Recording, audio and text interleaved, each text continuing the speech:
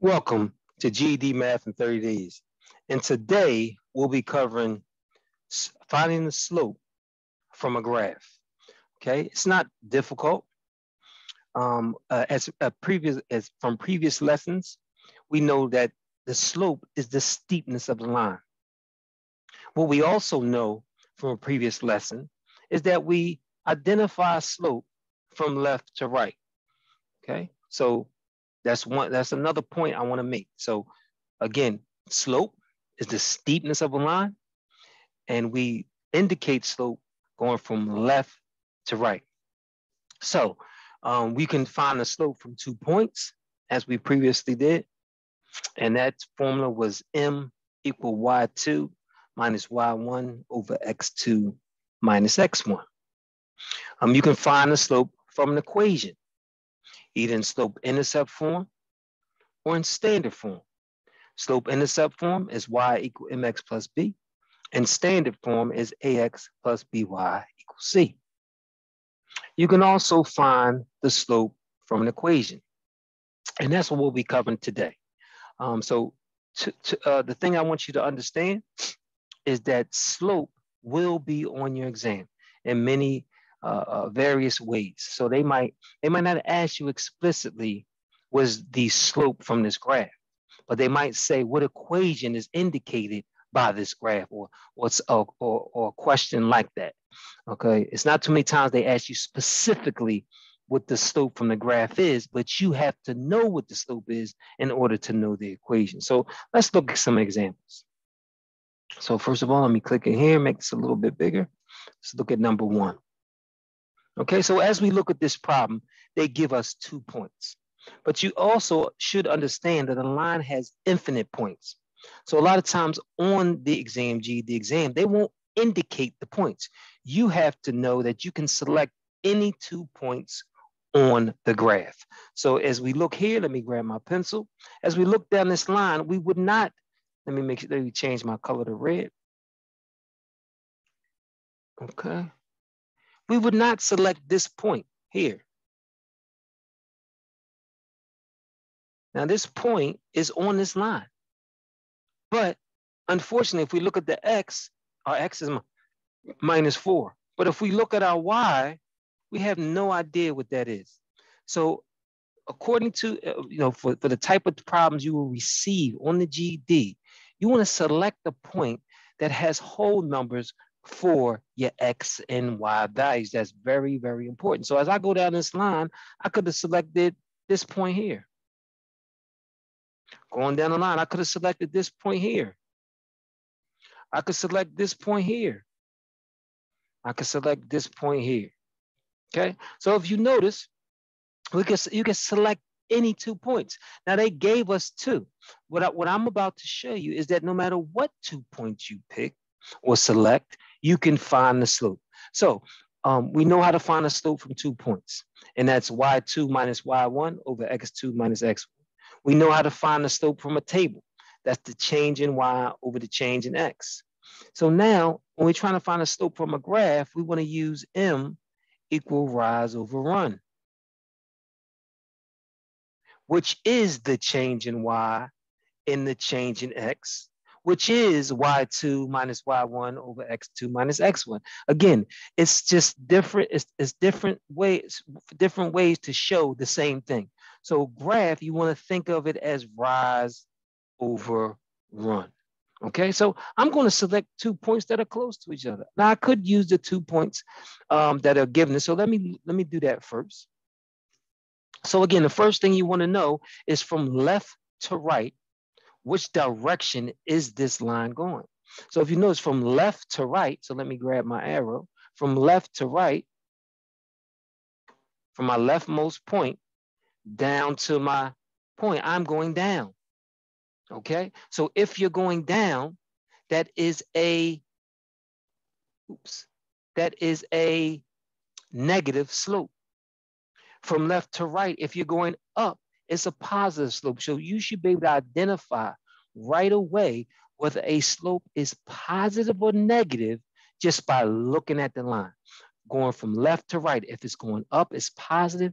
If it's going down, it's negative. So let me grab my arrow. Let's pick the two points that they chosen for us. So I'm gonna start here. So rise, what direction is rise? Rise is up. Again, that's very easy. Rise is up. Now, if you're going down, that's still rise, but rise, if we're going down, it's a negative answer. So if we're going up, the rise is positive. If we're going down, the rise is negative. Same thing for the run. The run is go, goes from left to right. If you go to the right, it is positive. If you go to the left, it is negative. So it's very important for you to understand. Okay, so first of all, you should be able to identify whether it's positive or negative going from left to right. And you should also know that going up into the right is positive and going down into the left is negative. So for example, from this point to get to this point, I gotta have to go down first. So I'm gonna go down one, two, three, four, five. So I had to go down five. Because I went down five, my rise is negative five. So my rise is negative five. Okay. And it's, it's good to keep writing your formula till you know it, till you can commit it to memory. And then we have to go from that location over to our point. So now from here, one, two, three, four, five, six, seven, eight, nine, ten. Now, this is going by ones. All graphs do not go by ones. They might go by tens or hundreds of thousands. But for this graph, each unit is only one. So we had to go over since we went to the right. It doesn't matter, very important. It doesn't matter that we started on the negative side. Because we went to the right, our run is plus 10. Let me say that one more time. Be even though we started on the left side, even though we started in the negative side of our graph, because we went to the right, it's a positive 10. Now we reduce to lowest terms. So first of all, negative and a positive make a negative five going to five one time, five going to 10 two times. So our slope for this graph will be negative one half. Our slope for this graph will be negative one half. Okay, so that was example number one. Our slope is one half. Okay, so let me take a picture. Let me clear the screen. And let's go to example number two. Let's do about two, two or three examples. Okay, let's look at this one here. Look at number two. So first of all, what you should be saying to yourself is from left to right, it's going down. So from left to right, it is going down. From left to right, it is going down. Okay, so that tells you is a negative slope from right away. That's the first thing you look at. Okay, whether the slope is positive or negative. The second thing you want to do, you want to understand that since we have a graph, we're going to use rise over run. That's the easiest way. You could take the coordinates of the point and plug them in, but this is the easiest way, rise, rise over run.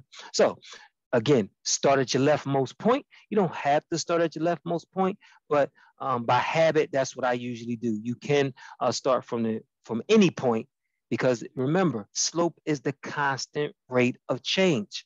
And I'll show you that in a minute. For example, so here, we're gonna, to get to this point, I have to do rise, so I have to go up or down first. One, two, three. Okay, so since I went down three, my run is negative three. Okay. Now, I have to go from this point over to my, for, have to go from here, I have to go over to my point. So I have to go over five, 10. So again, since I'm going to the right, it is a positive 10.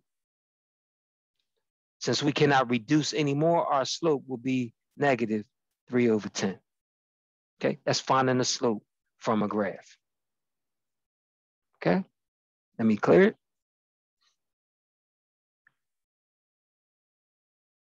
And let's try number three. Let's try number three. Okay. So what I'm going to do right now is I'm going to give you about a minute or so to do this problem and find the slope, and then I'll be right back. I'll be right back. Okay. So I hope you were able to do this problem. Let's do this together. So first of all, um, we want to identify whether this slope is positive or negative. So we're going to start at our leftmost point, which is here. We're going to go from left to right. And because from left to right, which direction are we going? We're going up. That may that means our slope is going to be positive. Our slope is going to be positive. So we already know, even before we look at our, our multiple choices, we know our answer is going to have a positive slope. So that's a good thing to know because on the GED exam, they're usually going to have two positive answers and two negative answers. So right away, you should be able to get removed two of those answers. So again, we have a positive slope. We're going to start uh, with our leftmost point. And we're going to start here. And how do we get to our other point on this line? Well, first, rise means we have to go up or down. So again, write your formula. M equal rise over run. Okay, now start from our leftmost point here, and we have to go up five, six, seven, eight, nine, ten. So since we went up, our rise, our rise is plus 10. Okay. Now from there, we have to go to the right. One, two, three, four. So our run is a positive four. Our rise was a positive 10. Since they're both positive, our slope is still going to be positive, And we got to reduce. So 2 goes into 10 five times, and 2 goes into 4 two times. So our greatest common factor is 2. You want to make sure we're using proper terminology. So our slope for this equation is 5 over two. Now, what I want to show you is this. So let me uh, erase a little bit. Remember, we, we talk about uh, a constant rate of change when we talk about slope. So watch this. What I want to show you is our slope is five over two. So every time we go up five and over two, we're going to be on a line. Up five, over two. So every time we go up five, and over two, we're gonna be have we're gonna be a point on that line. But guess what? We could also go the other way. We could also go down. Now, two negatives make a positive. So a positive five over two could also be negative five over negative two. Well, our rise is negative five and our run is negative two. So let me change the color of my uh, arrow and let's go the other way just to show you. So I'm gonna start from this point. One, two, three, four, five. I went down five. Now, since my run is negative, I have to go to the left. One, two. On the line. One, two, three, four, five. One, two. On the line. So it doesn't matter. So you want to remember that. You know, when you have a negative uh, slope, either the top or bottom can be negative, and they're the same answer. When you're when your slope is positive. Both of them, both, both your rise and run can be positive, or both your rise and run can be negative in order for your slope to be positive. Okay. Okay, let me clear the screen. Let's try one more. Okay. Let's try one more. One more, one more. Let's see, let's see. Let's try this one here, number eight. Number eight. Let's try number eight. Again, uh, I like to use the worksheets uh, from several different sites. The, uh, the worksheet that I'm using today is mathaids.com. They make dynamic sheets uh, that you can use uh, if you need to print out and, and, have practice problems. I will include the, uh, the link for this worksheet if you need to. All right, so again, Let's look at number eight. Let's find the slope. So first of all, from left to right, what direction is it going? Hopefully you said down and that slope is negative. So we know um, right away our slope is negative. So now we're going to use our leftmost pointer. We can use any point on this graph. Just not the two points that they give us. We can use any points. Remember, we want our points to uh, um, um, have be on whole numbers for both your x and y axis. So we could pick this number, we could pick this point here. And that's about it. These are basically the only three points you could use on this graph, uh, trying to find a slope this way. So what we want to do is um, m equal rise over run.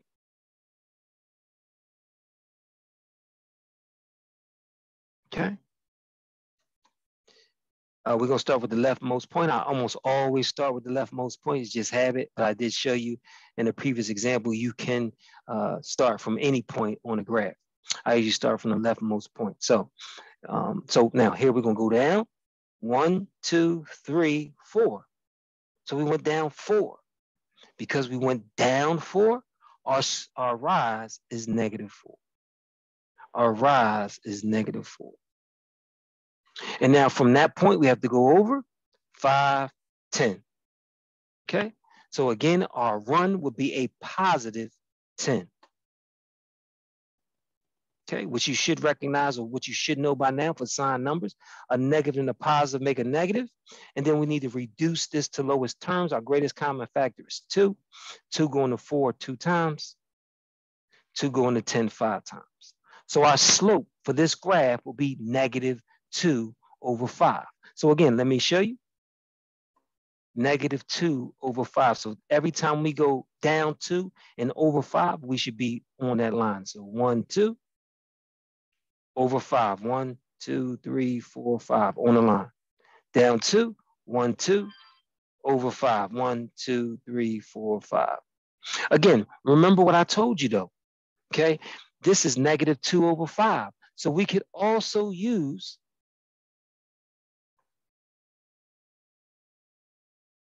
positive 2 and negative 5. Okay, that slope is still negative 2 over 5 because a positive and negative makes a negative. So let me change the color again. Let me try blue, but this time we're going to go up 2 and to the left 5. So up 2, 1, 2. That's the plus 2. And since the 1 is negative, we're going to go to the left 5. 1, 2, 3, 4, 5.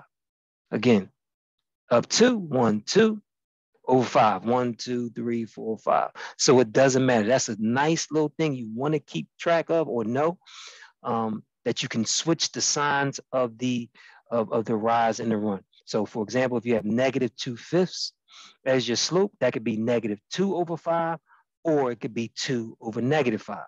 On the previous example, we had a positive, I believe was, uh, uh, I don't remember what it is right now, but say your slope was positive four thirds, you can use a positive four over a positive three, and you can also use a negative four over a negative three, because remember, two negatives make a positive. So that's our lesson for today, how to find the slope from a graph. I hope you enjoyed this lesson. Um, make sure you check out my website, passgedmath.com. Make sure you check out my ebook, uh, where, where I show you how to solve some of the most difficult problems on the GED exam um, in less than one minute using the TI-30XS calculator. Thank you for joining me. See you next lesson.